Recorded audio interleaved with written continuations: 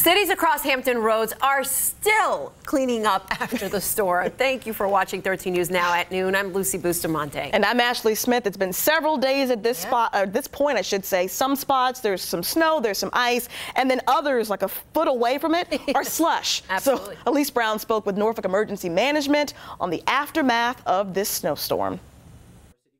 Norfolk Emergency Preparedness and Response Head Jim Redick is constantly evaluating how the city handles extreme situations. There will be an after action report. We'll highlight the things that have gone well uh, and we'll address the things that we need to improve. Mother Nature dumped several inches of snow across the area. The forecasts kept changing for the worse. Norfolk crews worked in 12 hour shifts using brine, salt, and sand.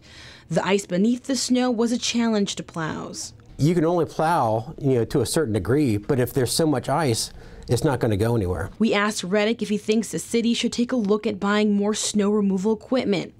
The city has 22 plows and 17 spreaders. There's always the talk about having more investment in the equipment, and that's a conversation that we're willing to have. It's all about the climatology, uh, the infrequency of the event, uh, the willingness of the taxpayer to invest more in that. What the city doesn't plow, neighborhood roads. A spokeswoman says it's because plowing equipment is large and streets narrow. In the coming days, Redick wants to hear from the community on what they feel could be improved.